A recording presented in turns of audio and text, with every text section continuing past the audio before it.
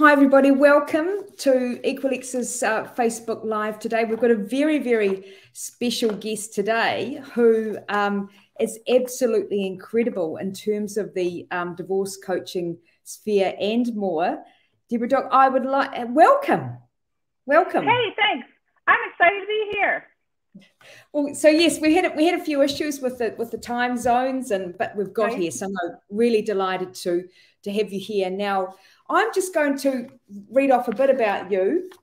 Okay. You've got so many certifications and you've had so much experience um, in terms of what you do. You've got your you've got your hand in many pies, haven't you? Mm-hmm. You do lots of different things. So you're a I, CEC certified divorce coach. Yeah. You're a I certified am. divorce financial um, anal- analyst. You're mm-hmm. a Ohio Supreme Court trained family and divorce mediator. You're a DCA pre-medi- uh, pre-mediation divorce coach. You're a um, DCA divorce conflict coach. You're a member of the ABA dispute resolution section. You continue to pursue um, education and betrayal, uh, trauma, and intimate partner abuse. Mm-hmm. What I really love about what you say is that you're committed to saving marriages uh, where possible, because absolutely, you know, we are not pro-divorce in this in this right. space. And how I met you is the wonderful work you do as a founder of the Divorce Coaches Academy. And um, and you teach and train and mentor other professional divorce coaches yeah. on an international basis, don't you? Yeah, absolutely. That's really and one you, of my favorite things to do is mentor and train new divorce coaches. Absolutely. Yeah. And you're brilliant and you're brilliant brilliant at it. Aww. I um I was really um, interested in your quote, which so many people can relate to going through this process or thinking about this process. And that was, I stayed too long because I was afraid.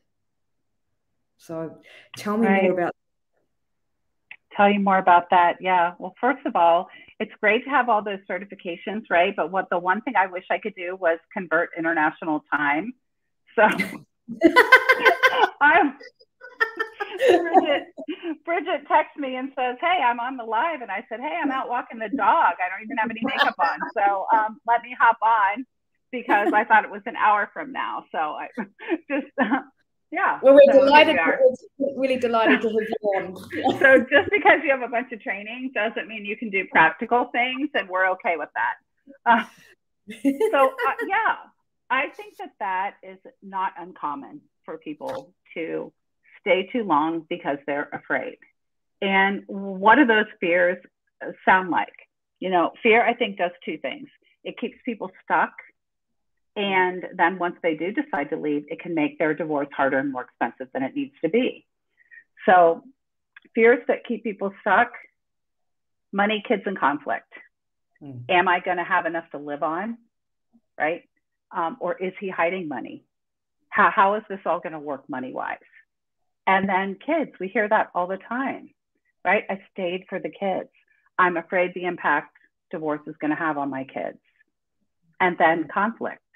Um, I'm afraid he's going to go crazy when I tell him this, that mm. I'm going to leave and I don't know how I'm going to handle that. So those are the big fears that I hear that really uh, makes it hard for people to make that decision. Absolutely. Do you work with predominantly women or do you work with men as well? I do have a few male clients, but I would say I predominantly work with women. Um, I think as a, as a rule, women are more likely to reach out for support. Yeah, um, and I saw I saw a quote, another quote, um, that talked about you being a champion of women in the US. I am a champion of women. Um, I think you know, one of the things I specialize is in betrayal trauma. Um, and I work a lot with women on setting boundaries, using that assertive language. And that's where, you know, I think sometimes we can save marriages if mm. women have been passive or they haven't spoken up and they've built up that resentment, right? So sometimes going back and, and rewriting the marriage contract, right? Like, yeah. I know, honey, I've been giving in a lot and I've been quiet and I haven't been asserting myself. And so that's making me really unhappy. And so I'm going to show up differently and we're going to see if that makes a difference. Yeah, absolutely. I've done a lot of speaking engagements over the last couple of months because there has been a focus on women in finance. And mm-hmm. um, we, we have a document, 50 plus questions that you actually need to ask each other before you take that commitment to be with yeah. each other. Um, are you a spender? Are you a saver? What sort of parenting style are you? you know, if you've already got children, or are we right. going to have kids? All of that, all of that across sort of all spheres of, of your life. It's really right. important to have that conversation. You, right. Do you think all of our funds ought to be joint? Or should each of us have a little separate account where there's money that we don't have to account for?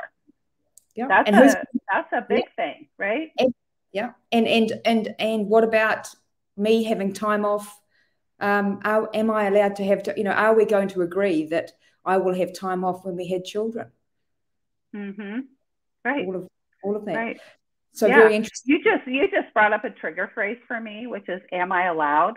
You know, and I I hear that sometimes from women like, well, let me check with my husband and see if I can.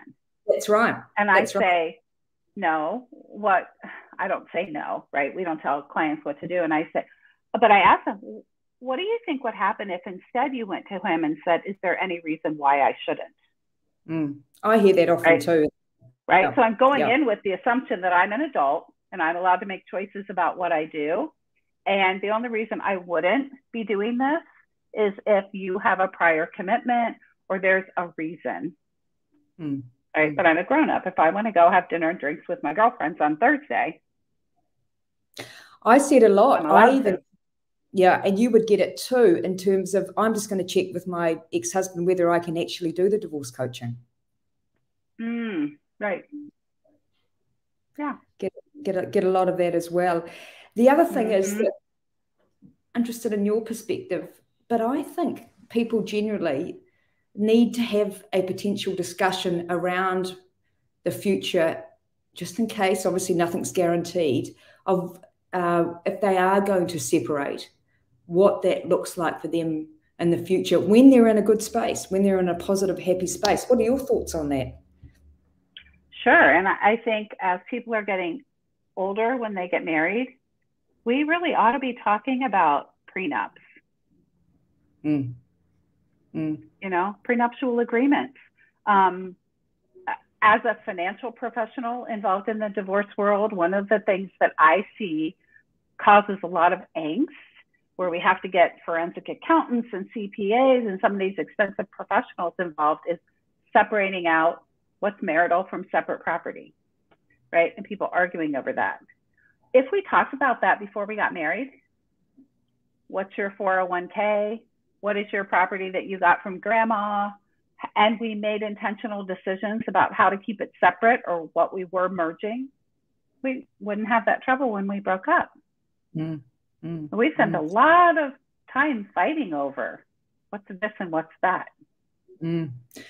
And it's interesting, I saw a stat recently that in the US, separation, divorce, what's happening in New Zealand, less people are getting married, more in de facto relationships. But it's approaching 67% of people separating in the US. Mm.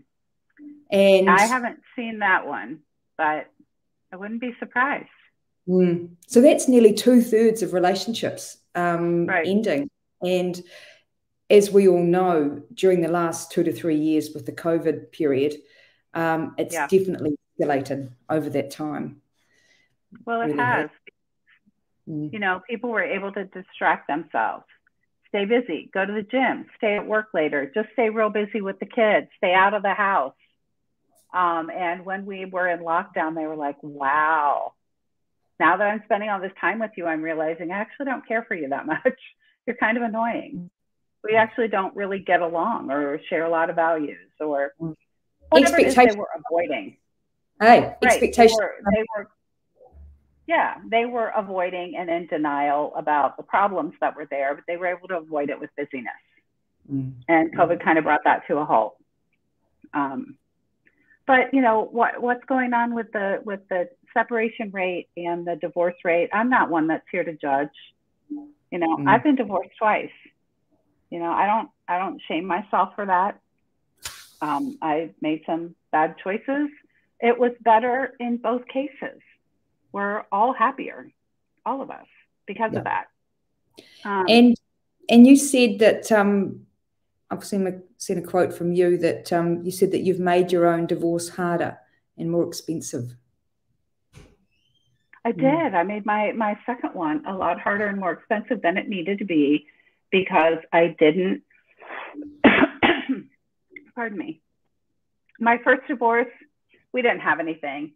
The kids were babies. He gave me full custody. We shared a moving van. we moved to our new places. That was that. Um, there was nothing to fight over, so I didn't really understand divorce. The second one, not so much.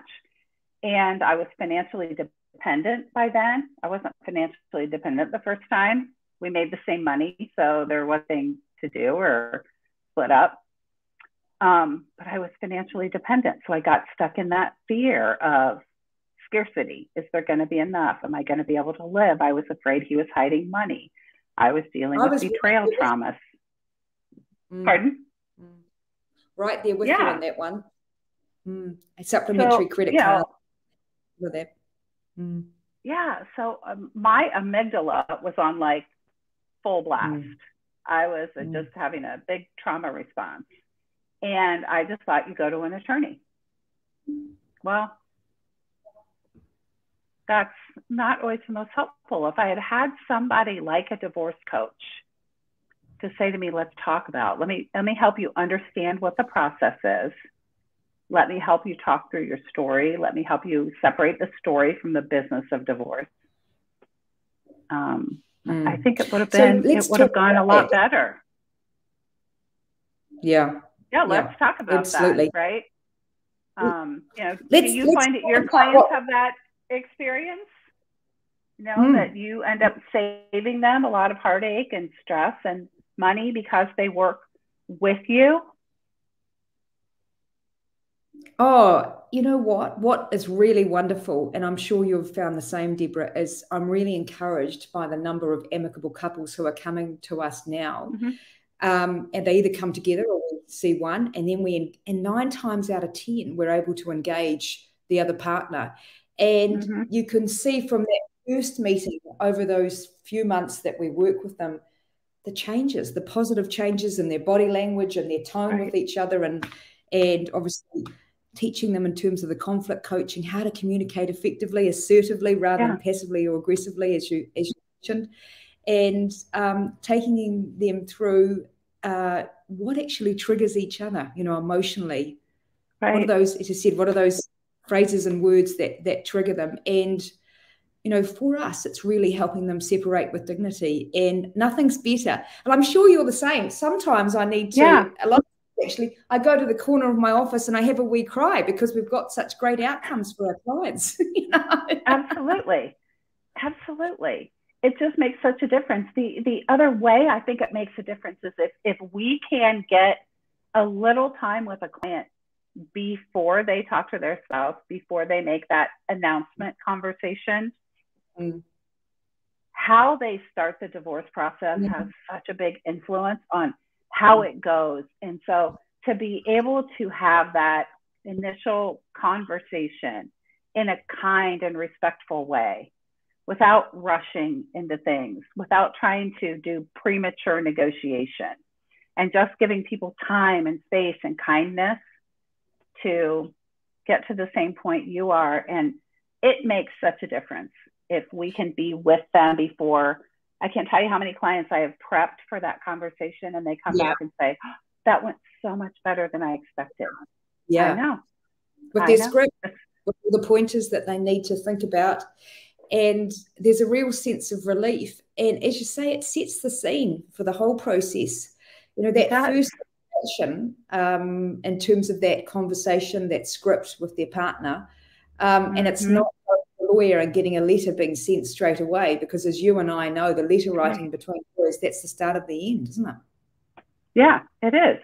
If the very first thing you do is serve papers, you know, in mm. the US you you file and then somebody gets served, what, at mm. their work? At their mm. soccer game?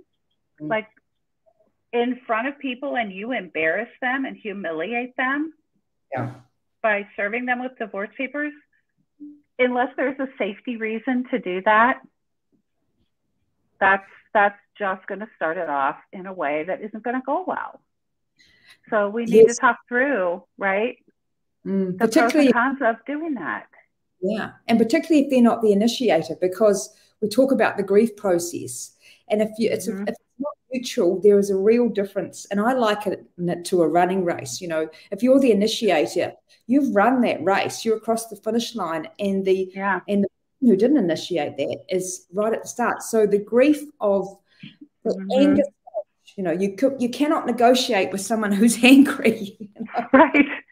You cannot. And that's, you know, one of the courses I just taught a few months ago at Divorce Coaches Academy, teaching uh, divorce coaches how to coach their clients through this conversation is mm-hmm. I, I really say it's not even a conversation, it's an announcement. This should take yeah. less than five minutes, really because you're not doing negotiation. You're not getting back on the hamster wheel of defending why you're making the decision you are. You've done that already, mm. right? It's affirm whatever you can do. That's whatever you can say. That's nice. Um, you've been a great provider.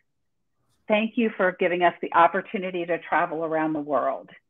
I love how you are the kids' soccer coach and you're so encouraging and mentoring to them. Whatever it is you can say and then the announcement of you affirm, you announce, right? I've made this decision. Not because no blaming statements, nothing to put them in a defensive state of mind. I have decided this for me mm. that mm. I'm going to move forward with divorce. Mm. Then your spouse is going to have a reaction and you acknowledge it. I hear and, that you're angry. I hear that you're sad. It's not the outcome I wanted either. I just dropped a bomb on you. Let's take a few days to process this. And that's it. Absolutely. I totally agree. I say to clients, um, write down five positive things about your partner. Mm-hmm. Put them somewhere so you, you, you can remember those, or yeah. always when communicating, they've got to be at the forefront of, of your communication with your ex spouse. Mm-hmm. This leads me to to divorce i'm i'm actually not re i'm you know i'm going everywhere with these i'm not sticking to the questions but this is great um, divorce disclosure and that's really interesting you know we you you you um you teach about this and children really want both parents to be present at that conversation so by divorce disclosure that's the time that the children are told about the divorce or separation and mm-hmm honest and open communication is really important, isn't it? It's a it's so pertinent that couples are on the same page. And you and I mm-hmm. both coach clients on how to have that conversation and what that looks like. And what that looks like. And I think it's so important to tell your children, even if you don't know all the details, right? Sometimes people will say, well, we haven't made a decision about who's keeping the house or who's leaving where. And so we don't want to tell them yet. They already know. Kids yeah. have incredible radar. And so the way mm. I kind of explain it is you're almost gaslighting them. They mm. know there's something happening, but you're not telling them. And so that's mm. creating cognitive dissonance in your kids mm. that they know something's up, but you're not being honest with them about it. So just start creating that place for your kids to sit in uncomfortableness. Yeah. and you're an, uncomfortable. I, yeah, yeah. And, and you are and your partner are really uncomfortable about it. You know, there's a lot of yeah. fear. There's a lot of, oh my God, you know, all of that right. is, and you, and it's, and also, you know, you've got to be really definite that you are going to separate when you sit down and have that conversation. You know, you really have to, you have to do the work you have to do the work to, to ensure that that conversation goes as smoothly as possible. And I, I, right. wasn't, I, wasn't prepared with a nest egg. I didn't. Um, I um, I just left and didn't even think about getting organised for separation. Didn't right. even cross my. Oh, I know. Me too. I just packed a backpack. Yeah. I tell the story of the night I took dinner out of the oven. People tell me, when how will I know when I'm ready to go? And I say everybody has a crystalline moment. You have a, a moment that it'll be a really small moment. You've had a bunch of big moments where he's been a jerk and it's been awful and da da da da da, and you didn't leave then. there'll be a small moment where it'll be like, nope, that's it. Today's the day I know. So what we what we want to do is work with people as soon as they start to get that feeling, that feeling that mm, I've been thinking about divorce for a while now and it's coming up for me more often. That's when we want to talk to you so that we can know. You can know on the day you take dinner out of the oven and pack your backpack and head out that it's not a panic moment. Because for me, that was a panic. Then I was like, oh crap, what have I done?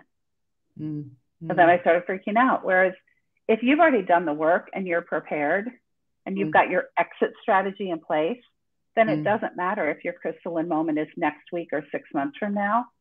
Yeah, I agree. Okay. I I just snapped. I just snapped one day. You too. And you know, that's it. Absolutely. Yeah, yeah, and you've got to. Yeah. It was a, it was a small thing. It was absolutely minuscule compared to everything else, mm. But it was that tiny thing. And I was like, yeah. I turned in, I turned the oven off, took dinner out, packed a backpack, and just walked out the door. Mm. Mm. And it, it, there's a big sense of relief, though. I felt that. Did you feel like that too? Oh, absolutely. Mm. But then the moment I thought about that, I was like, okay, I did that. It felt great. And now I don't have money for gas and groceries. What am I going to do? mm. Right. Hence being prepared. And women generally leave at least a couple of years emotionally before they leave physically. I see it a lot. Do you see that too in right. your practice? Yeah. Oh, you know, for sure. Um, you know, and they say it takes the average uh, intimate partner violence victim seven attempts to leave. Mm. And so mm. let's an attempt to leave doesn't necessarily mean packing your bags and moving out. Mm. An attempt to leave can be this this um, gradual distancing.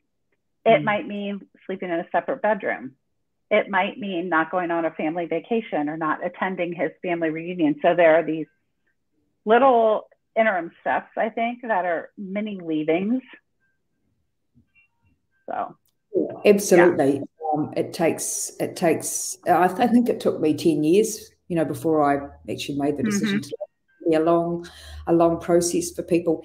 And so, coming back to the role of divorce coach, in a couple of sentences, yeah. Debra, tell us tell us what you your description of, of that because people um, particularly in new zealand it's very new here um, yeah. I, business has been around for about four years or so, and so people are now getting awareness in terms of of what we do mm-hmm. now. In in America, it's huge, isn't it?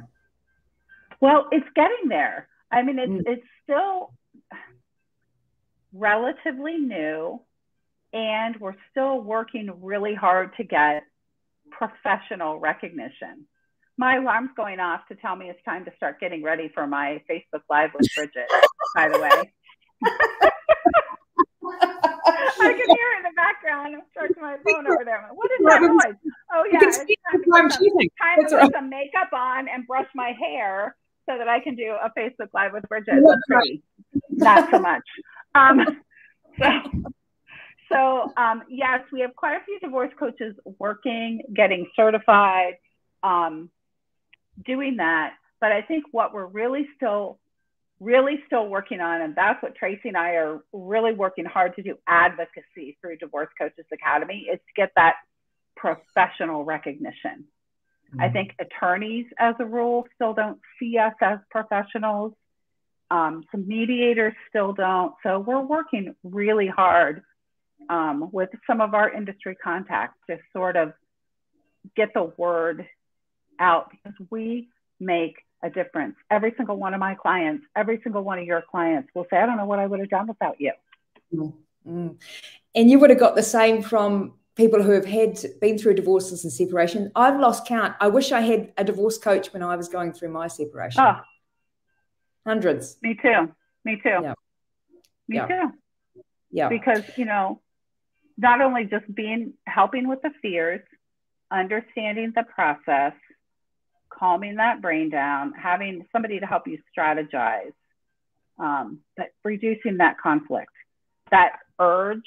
You know, when we teach that conflict coaching course, I, the mantra is conflict is inevitable. You're going to have conflict in divorce. If the two of you got along that well, you wouldn't be getting divorced.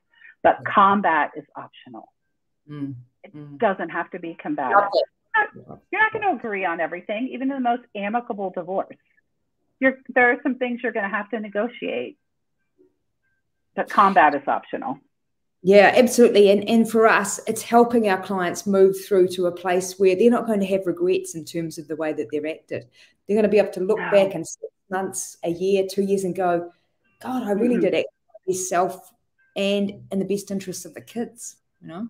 Yeah, the best interests of the kids. And and you know, I don't want anybody to be that person who you meet and they're talking about their divorce and you say, How long ago did you get divorced? And they say 10 years oh my gosh, you've been carrying that for 10 years? You still feel victimized after mm. 10 years? And I am so sorry. I don't want anybody to mm. still be consumed by their divorce after 10 years. I want you to move through it and heal from it and then go have a fabulous life, is what I want. Yeah, 100%. So, yeah. one of the questions that we've got here is Do I need a lawyer? You know, I, I would say not necessarily. Mm-hmm. In some cases, it might be worthwhile to consult with one if you have some really sticky, specific questions. So I will often work with a client in the beginning, will identify if she has specific, he or she has specific legal questions, because a, a, divorce coach cannot give legal advice. Mm-hmm. So if they're very specific, is this marital property or separate property? I can't answer that, right? Does how does this judge calculate alimony or spousal support? I don't know. I can't tell you that. Um, some of the really specific things. Do they need mm. to put one on retainer and work with them throughout the whole divorce? Likely not, but maybe mm. just to get a few very specific questions answered so that mm. then when they go into a mediation or negotiation process, they feel confident and secure about what they're asking for. Yeah, absolutely. We we we have those conversations, and I think for us, you've got to be legally educated in the first instance about your rights, yep. obligations, um, yep. and then I it's prudent to get your um, settlement agreement in relation to your relationship property certified independently by lawyers, just mm-hmm. in case, because obviously there needs to be full and frank disclosure um, yep. of everything that you own and owe, and um, you know sometimes things happen that you don't expect for all of us in life. And, mm-hmm. you know, pragmatic, um, right. being prudent and getting that mm-hmm. and getting that side, I think, you know, yeah. is really important. But it doesn't have to cost thousands no, and thousands of dollars, you know? You know, it doesn't. Um, just, uh, you know, a couple things we recently learned, found, found a statistic that said for 2022 in the US, the family law and divorce attorney industry's revenue is expected to be $12.1 billion. That wow. is a huge amount of money that families are spending to get divorced. Yeah. And I think one of the things that happens is people just assume that's how you have to do it. Mm. And mm. Uh, yes, we need good legal advice, but the person who's in charge of your divorce is you you are the best expert on your family, what's best for your family, what you need. And so we never want to punt responsibility to an attorney anyway. We want to use them for their legal expertise only. These are my questions, mm. not Abs- please take over my entire life. Absolutely. And that's um, the fact that lawyers have a role, 100%. They come Absolutely. from a of view, whereas as divorce coaches, as mediators, we're coming from shared and common interests, and that mm-hmm. um, and I'm sure you're the same. We have very informal mediations. There's not a cast of thousands in the room, and you know we have a whiteboard and we and we look at the criteria, we brainstorm, look at the options. Yeah. It's a very relaxed environment, and you can see people yeah. absolutely, mm-hmm. you know, mm-hmm. relaxed. Going, oh, this is not what I right. thought like, you know, it's more right. positive. They can speak. It's more positive. We want to stay interest based so yeah. that we can color outside the box and think about what's best for the family and be open and have conversations to get to that final agreement, not fight for every penny we're entitled for. And, you know, an attorney takes an oath to zealously advocate for their client, and mm. that's their role. Mm. Their, their role is to really do the best they can for their client. Yeah. And sometimes um, the client might make a decision to take less because it's better for the family. That's yeah. okay, as long as it's yeah. an informed decision. Yeah. And I think I say to clients, you've got to think about not just about today, but about tomorrow as well, because there's no money yeah. tree out there that's going to, um, that we've got growing in our backyards, you know? So, no. and that I comes. I did. What's it? I wish I did. yeah, yeah, exactly. That'd be great. And I'd be interested in your thoughts, Debra, because in my practice, um, 75 to 80% of the women that I see, I probably see 65% women, 35% men, the occasional men. But yeah, 75 to 80% of the women I see have absolutely no idea about their finances. They're financially illiterate. Mortgage, I'm not sure if I've got one. Um, mm-hmm. We've developed a program, a solution to that. But you know, one of the biggest things is, and actually, this was one of the questions for at the end, but um, for you and I to answer, what is the biggest mistakes in divorce? And one of the biggest mistakes that I see is people not knowing what they own and owe, whether you're, regardless of your relationships. Mm-hmm. Yeah, it is. Or I will see women who pay the bills so mm. his paycheck goes somewhere and then he transfers over $5,000. And so she pays the bills, but she has no idea what's in the investment account, what's in the retirement account. So she thinks they're poor. And then we go to the divorce financial disclosure process and find out they have $2.5 million. Mm. Or that he hasn't paid taxes for seven years and they owe $2.5 million.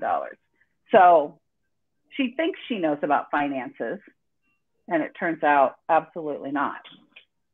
Yeah, and there's a lot I of cases.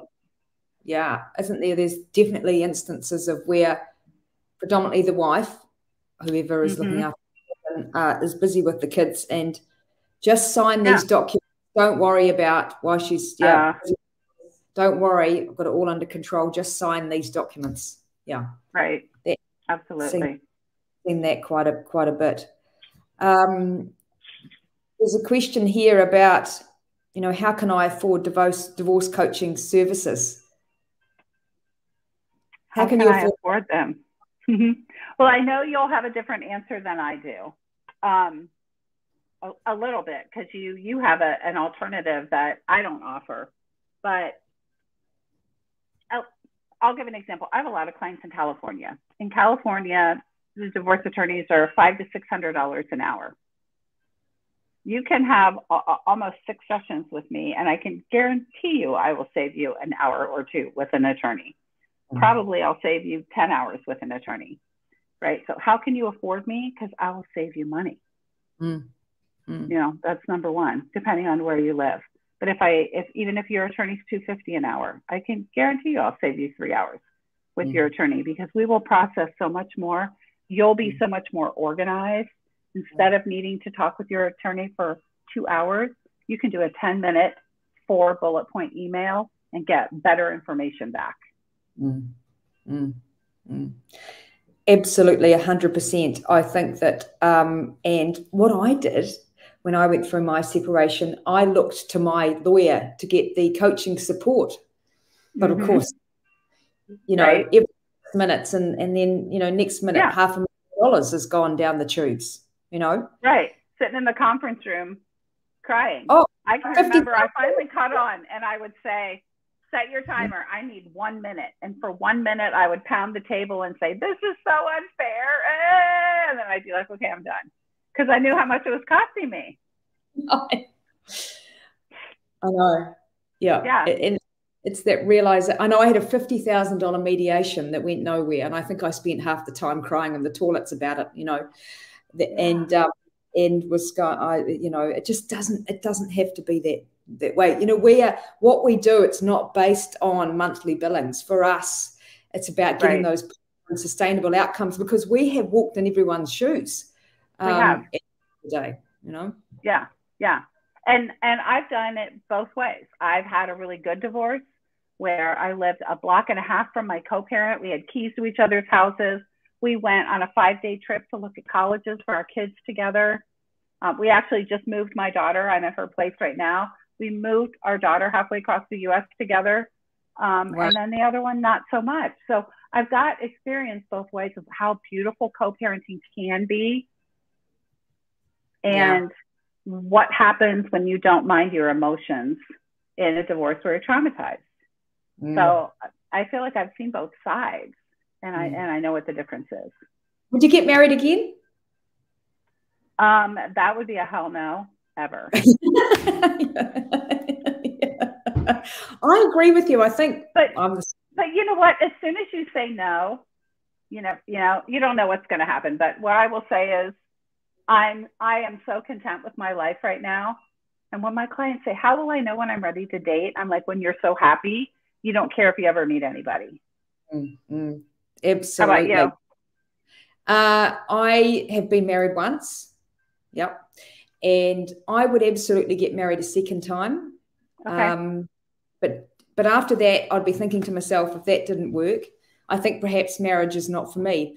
And as right. I uh, said before, um, less people in New Zealand are getting married, um, more de facto. However, the Relationship Property Act applies after three years anyway. But okay. I think I wonder if you went through the same thing. I'm sure you did, and lots of other people do. Is that um, you come out of the relationship and if you're very vulnerable so you end up in another relationship that's exactly the same as the one that you were in because you feel like and this is from my perspective i don't want to be alone at all so i'll just settle for being in any relationship at all mm. even if it's bad and then as time goes on i've been you know separated now for nearly eight years you get um, you get so used to being love being on your own. You've found yourself again. You've found your identity. Mm-hmm. You've found purpose. Yeah. Yep. And- when I first got divorced, I actually bought myself a fake wedding ring because you know I'm so good looking. Guys are bothering me. Guys are bothering me. I'm, I'm kidding about the good looking, but um, but I don't fuck for a 60 year old. And and it was really it was triggering to me. I did not want people sending me drinks at restaurants and talking to me at the grocery store because they saw I didn't have a ring on. So I bought myself a fake wedding ring and I wore it around. And it was like my protection. And it was really interesting. One day, about a year in, all of a sudden I was at a friend's house for a picnic and I was like, You guys, where's my ring? and it had just fallen off. And i was like that is the sign that i didn't need that protection anymore right? Yeah. oh, i love it. I love it. Um yeah. so are you, are you dating? Nope no. Good on you. Good on you. No, i'm saying I have, I have no interest but you know never say never. I've been seeing someone for about 18 months and he's absolutely fabulous. So you know there it. are there are diamonds out there you've just got to You've just got to sing under the rubble. I probably have to leave my house to find them, huh? Is that what you're saying? no. Well, because I was thinking the next businesses that we should set up as dating agencies. That's what I thought. There you go. Such a captive audience, you see. Right matching up divorced people with the right other divorced people so their wounds don't trigger each other. I don't know how we do that. Yeah, we've done a intensive, a whole lot of intensive um, coaching with them, though. You know, right, like a, a, matchmaking agency. That's right. That's right. Divorced people. That's right. Absolutely. Yeah. So something else no. that we could add to our repertoire that between, in. between one a.m. and three. Um, so. Right. So there's a question here, and a lot of people will be thinking about this potentially as you do.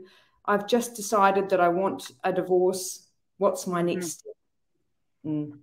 What is my next step? Mm. Call a divorce coach. Exactly. 0800 or what do we call from your prefix? Uh, I'm unsure.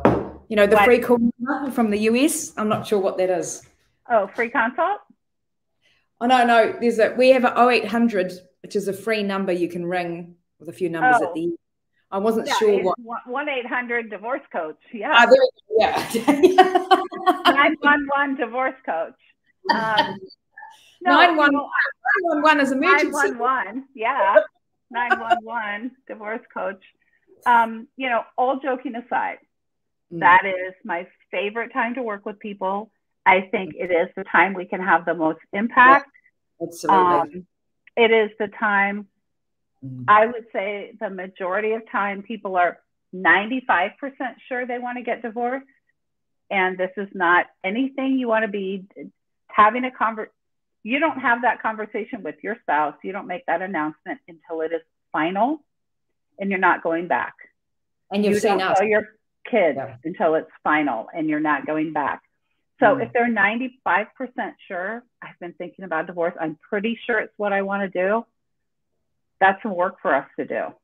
Yeah. To yeah. make sure they understand all the implications, they're comfortable, they're confident with that decision. Because that's a that's a no-go back once you drop the D bomb. Oh, absolutely. And, you know, we have that, which you do as well, um, when people are on the fence in terms of whether they should stay or go. But inevitably, by the time they get to us, they really mm-hmm. are in that mode of, you know, I'm wanting to move on. You know, so right. Right. It is. And, I, and you, you, you'll be the same. And I say to clients, you've got to leave no stone unturned before you decide to leave. It's such a huge decision. And mm-hmm we have clients that may span over two or three years, you know, yeah. with, with getting to that point of being able to go, okay, I'm ready to leave. We've worked on the relationship. We've we've got no regrets because we've tried tried hard. Right. Mm-hmm. Yeah. yeah. So uh, you know, I deal with a lot of betrayal trauma victims, and so even though they've been betrayed in some of the most unimaginable ways, just horrific, there's something about women are saints and they still often want to give him a chance to change. So I call what we do parallel paths. Mm-hmm. So we identify what is it you're waiting for him to change while you're giving your marriage a chance, but at the same time, we're going to take steps to prepare for divorce. Yeah. Right. So what are you watching for? I call that waiting with intention. Yeah. You can wait, wait, but what are you waiting for. Yeah. You're not helpless. You're not helpless. Mm. You're waiting for something. Mm. But get mm. prepared for divorce at the same time so that if mm. there's a day that the thing happens and you want to take dinner out of the oven, you're good. Yep. Whether that's six months or six years before you leave. Uh, absolutely. Mm. Yeah. Right. You'll you'll know what you're stepping into. And mm. then you don't have fear and mm. fear escalates conflict. Mm. Fear makes us do, right? I always say divorce makes smart people do stupid things and stupid people go to jail. yeah, yeah, yeah, yeah, absolutely. Um, I was going to say something, but it's popped out of my head. Um, so there's so many mistakes that people make in separation, and I'm guilty of making many of them. Um, and from your perspective, what's two the biggest mistakes that people can make? During this process? Two of the biggest mistakes, I think, are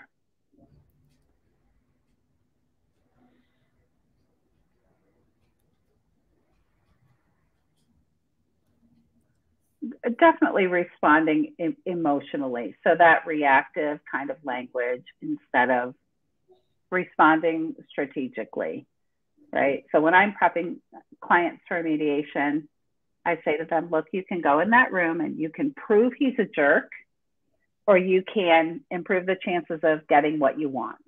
So you can go in and vomit all over the table and, and talk about all the bad things he did. And, or you can set yourself up for success by being strategic. So those emotional reactions that then cause the other partner to get defensive and trigger their response. I think that's probably one of the number one things that I see.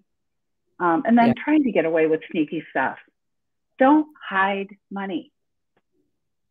Don't hide money. Don't keep your kids from the other parent. Like, mm. don't do the things you know you're not allowed to do. Yeah, yeah. And it's very difficult if you if you're not able to manage your emotions. So for me, yeah. definitely coming back to the it's what you you need to know what you own and know if you're married, if you're de facto, if you're an independent person. Yeah. That is crucial for everyone. Yeah. Um, and the other things that really important because I see so much of this. It's happened in my own scenario. Um, I've been guilty of it before, and I put my hand up in the early years, and that's disparaging your ex to your children. You know, um, hmm. it's um, really it's a no go, and I learned very quickly yeah. because you're resentful. You know, you become very resentful, not able sure, to. Of course. And mm-hmm. I learned that way in that, and um, mm-hmm. and you want to have no regrets in terms of the way that you're acted, and also right. it's really important that you don't rely on your children to support you through the process. Yes. Got to be the other way around, isn't it? Got to be the other way around, right? And there and there's a way to speak truth about mm. your ex, speak truth about their dad that's not or their mom that's not disparaging. Yeah. Right. I'm not saying we have to spackle over and pretend nothing ever happened. Mm. Mm. I'm a fan of truth. I'm a fan yeah. of truth in an age appropriate way. Yeah. Not we don't have to pretend there's a big old halo hanging there, but disparaging is a different thing. And and it's coming back to what we talked about before is is having a, a cupboard, so to speak, of the positives. You know, mm-hmm. positives of your ex. You've got these if if it's relevant, you've got children, you've got these beautiful children that have come from that relationship. There is definitely positives, about them because as you and I know it takes two people to tango in a relationship there's not one person is is not um, it's always not one person's fault you know? I might beg to differ with you there because what I will say is two imperfect people can stay married. We all make mistakes. But mm. I think there is sometimes some deal breaking behavior that ends the marriage that is solely perpetrated by one party. Mm, mm. I mean, and I had, a client, I had a client, Bridget, whose husband spent two hundred and fifty thousand dollars of their kid's college account on prostitutes. Wow, that's not a two to tango situation. No, that's no. a urine hole, and I'm done. Mm, I can't mm. believe you did that. So mm. I, you know, now were they both imperfect? Did she sometimes burn the toast? Did she sometimes raise her voice when he didn't take the trash out? Mm. That's normal human conflict. That's mm. normal interpersonal conflict. Mm. And people stay married through that all the time. Mm. What he did was deal breaker behavior. He mm. ended the marriage with that choice. Mm. And that comes back to two, um, and you will work with a lot of individuals in this space, and that's um, high conflict personalities. Mm-hmm. You know, mm-hmm. um, and we're not here to diagnose anybody because we are not therapists, psychologists. Mm-mm we're not your lawyer, you know, we're not your financial advisor. Um, but um, high conflict personalities are, you know, very difficult to navigate a journey, that sort of journey. And mm-hmm. I see a lot of individuals going through that process and being able to give them the tools, yeah, um, utilize through that journey is um, life changing for them. Yeah. It is. It is. And and because of our experience, some of what we can do is help them predict yeah. what might happen next, right? Because because we have some of the pages of the playbook. Mm. Oh, that's yeah, I think you're coming up on page 42. Here's what we might want to expect. Yeah. So let's get prepared for the smear campaign. Let's get prepared for how you're going to respond to this. Um, but yeah, I mean, we hear narcissist and sociopath and psychopath, and we hear all these labels, and you know, what I say, it doesn't matter what flavor of jerky is. Mm. What matters is understanding how he's going to react and how you're going to strategize. Yeah. That's all that matters. Yeah. It doesn't matter what yeah. a psychologist would say about him, her. Yeah. Yeah. Absolutely. And, um, you know, for example, um, many make the mistake of you have to communicate to every single text and every single email communication. And uh, across any platform. And, you know, as you and I know, um, high conflict personalities like attention, whether that's good, bad, or indifferent, they want attention. So that mm-hmm. disengaging is um, just one aspect of it that's um, really important when you're moving through mm-hmm. this um, separation. Well, we have chatted away for 50 we have minutes. chatted away. I know. I was like, I thought we were going to do this for like 20 minutes, Bridget. But that's how much Bridget and I like each other and how much fun we have. And, know. you know. And, and we've got to do it more often, I think. We've got so much to offer um, in terms of, um, you know. And I'll be on time next time and I'll wear, I'll wear, I'll brush my hair. well, you look. no, that's, been, um, that's been really fantastic, um, Debra. We're going to now. Her and I are going to get on and now do a, a, a brilliant podcast, which that'll probably be two hours long by the time we never know. She's going to keep me up past my bedtime. Oh no, we're going to do it because it must be nine o'clock. Must be eight o'clock. Eight o'clock. Yeah, eight o'clock. Yeah, because that's what time I thought we were doing this. So whatever. So my Facebook post was wrong. My Instagram post was wrong. Oh, well. that's, that's, I'm okay with imperfection, actually. Yeah, exactly. You know? um, and that, that's that's that's one of the things we have to get used to in divorce too is uncertainty and imperfection. And okay. it's okay to be okay. You know, okay. it's okay to not be okay. I'm not okay a lot. I'm good with it. I hear you. Um, yeah. So to, to more information about the lovely Debra, um, Debra Doak, uh, D-E-B-R-A, we'll, we'll put all this information down on, on the um, live anyway, D-O-A-K.com to find out more about her. We are um, equalexes.com, X's with an E-X-E-S.com and equal before that.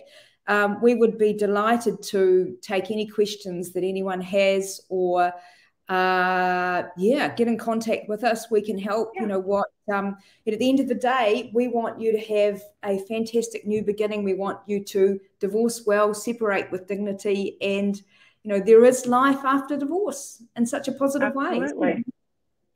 So um, thank you, thank you thank very you. much, and we'll definitely have you on again soon because thank so many you. people have been watching and listening for such a long time. I see here, which That's is um, which is absolutely brilliant. So thank yeah. you everyone. 52 us. minutes. It feels like 20 seconds. So I really, I enjoyed it. I know. Same, absolutely. So thank you everyone for joining us. And we will be back soon. We'll let you know when. Bye. Okay. Bye.